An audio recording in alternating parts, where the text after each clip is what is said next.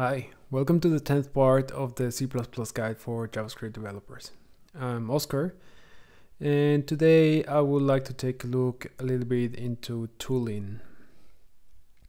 So all this time we have been exploring C++ on the Replit uh, console, but now I would like to teach you about CMake and CMake list, which is the tool that is more or less the standard tool to compile C++ programs. Now, I'm gonna go over a very simple example and we're gonna set up CMake from scratch. That being said, CMake is a very, very large tool and it's a very, very powerful tool, so we're not gonna be able to cover all of it. I'm just gonna teach you the very basics for you to understand um, what does a CMake list file do uh, but you will probably have to explore a lot on your own. Now I have here a very basic file which is just a main function and I have also implemented a very simple uh, addition, a very simple library let's say, which is just an extra file with the definition of my function and its header file. So it just outputs the sum of 2 and 4. So in order to make this work, you're gonna have to first install CMake on your machine. If you have brew, you can just do brew install CMake. I already did this, so it's not gonna do anything for me. But once you have CMake installed, if you do CMake version, you should have the output in there. Now, you're gonna want to create a cmakelist.txt file in the root of your project. Now, before we start writing anything, let's talk a little bit about CMake. CMake is, uh, you could think about it uh, as a bundler of code. Um, as, you, as we saw in the very first video, the command for compiling a C++ file or a C file uh, involves the C compiler or the C++ compiler, some flags for the configuration, and then the files that you want to uh, output. Now, if you have more files or if you have a more complex project, you could try to put everything into a single command, but it's just very hard. You might want to compile certain parts of your project differently. You want you might want to bundle them in a library uh, or you might want to generate more executables and so on and so forth. So it's not really scalable to do everything by hand. So CMake was or is the tool that came out of this necessity to unbundle the compilation process a little bit and to make it more reproducible and stable. Now, uh, CMake works on top of a makefile and the make file um, we will see it in a bit. It's a lot more specific than a cmake list file. The cmake list file is an abstraction on top of cmake because at some point even writing a cmake file or a make file on your own gets way too complicated. So cmake list is once again an abstraction on top of it which is supposed to facilitate a lot of the work in doing uh, very complex compilation pipelines. So let's just jump in and do an example of this. Um, I have created the cmake list file.txt on the root of my project. Uh, so I'm just going to start adding some commands or some statements. and uh, we're going to go over them. The first thing that I'm going to specify is the minimum required version of CMake. You can imagine as time goes on, CMake does uh, add more functionalities and does target new compilation targets and so on and so forth. So of course, if you want to have reproducible builds, you want to be able to specify which version of CMake do you need in order to compile your project. In this case, um, I think CMake, you can see it's already on the version 3. I'm just going to specify an older version. Um, another interesting flag we could use is the set flag, which allows you to set different flags for your compilation. Now, for example, here I'm going to target C++ 17. And of course, this is very useful as we saw on the previous videos, depending on which um, version of C++ you're using, you will have access to lambdas or not, and all the different features that are just C++. They don't have to do anything with CMake, but it's important that we are able to specify them. Next, uh, another required um, statement for CMake is the project. Here we can define some metadata about the project itself. We can define its version, we can put some description and so on and so forth. Um, I, I will leave a link on the description because as I said, there's just way too many stuff you can do with CMake and covering all of it, we would be here for hours. Now um, let's get into a little bit the more interesting part, which is how do you actually compile your C++ project.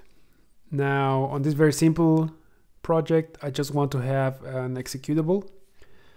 We will also take a look into a more complex example where I'm gonna try to link a library for the Android runtime, for example. But let's just keep it simple for now. And let's say I want to compile my main file plus my extra library. So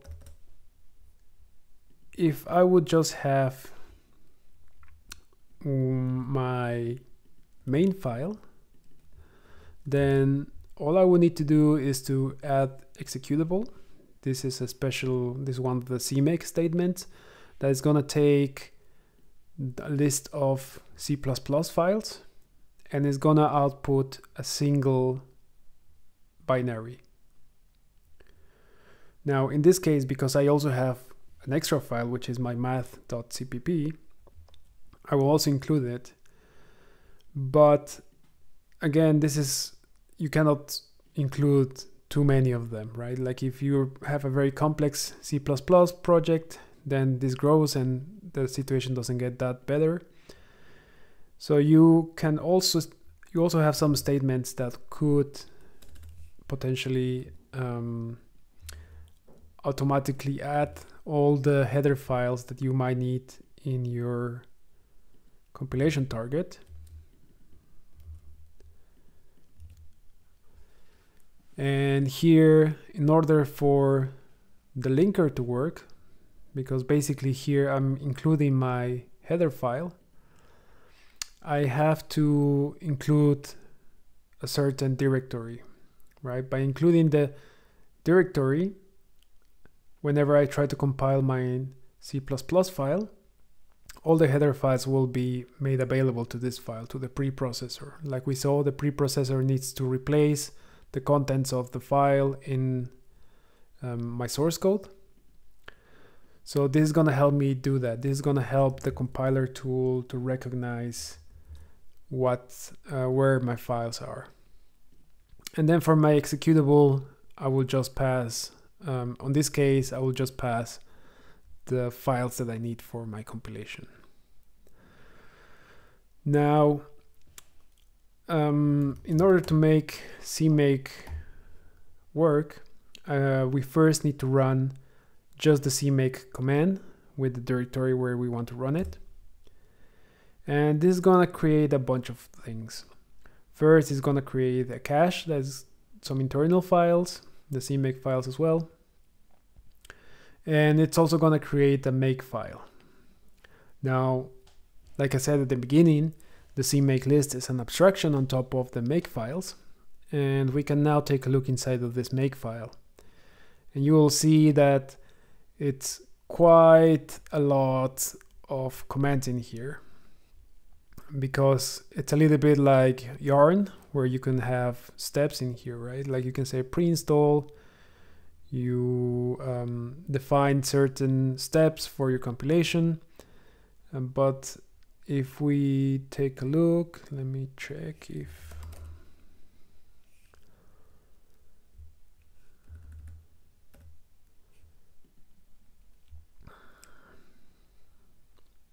yeah basically it's going to take the make command.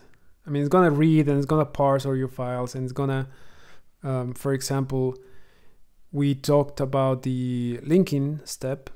You know, if we compile our C++ file, the first output of the compiler is an object file, which is not linked against the libraries. The make file is gonna do that for you as well. So when I started coding, you know, when I started one of my first jobs, I actually used uh, CMake by manually writing the, the make file.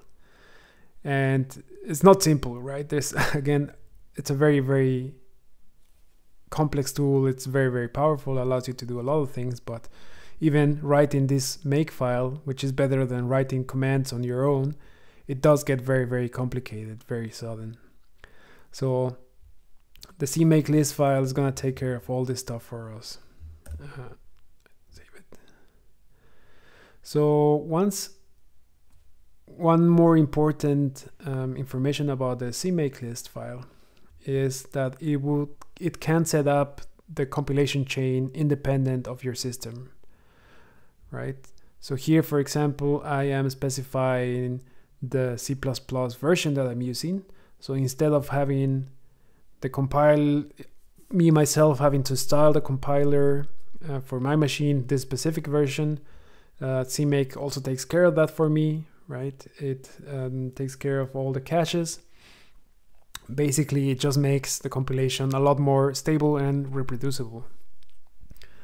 So once that CMake list has um, set up all the files, I can finally go and tell it to build my application. Basically, through the add executable, CMake knows what's the output that I'm expecting and here you can see I pass the name my project and finally it has outputted a binary.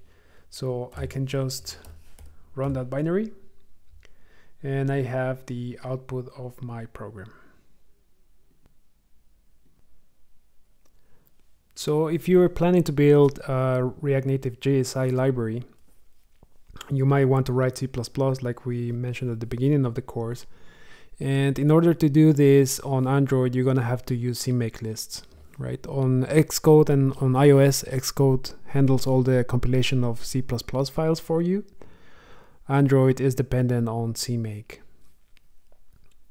So now that we have seen the basics of a CMake list file, hopefully this won't be as daunting to you. Um, you can see this is a CMake list file from uh, Android library I developed and hopefully we will review it in a different video.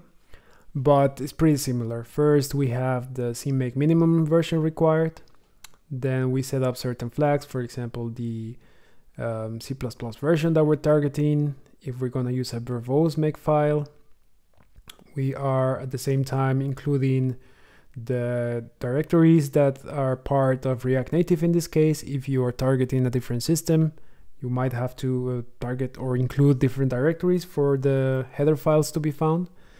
And here's one difference. Um, when we're targeting Android, we don't want to generate a binary, but we rather want to um, create a library and then make that library available to the Android side of things. So here Instead of using the add executable command, I'm using the add library command, right? I'm creating my own library and then just passing all the files and header files that I want to um, compile in order for this library to be uh, prepared.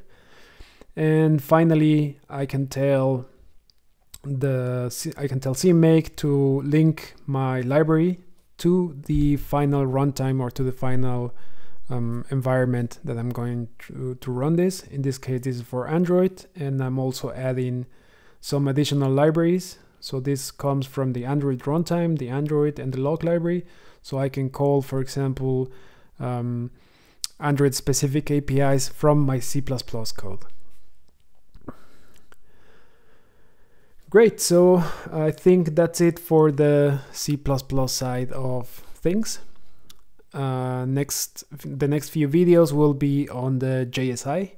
It might not be as interesting if you are not a reactive React Native developer, but I hope that you enjoy the video and please consider subscribing. Thanks.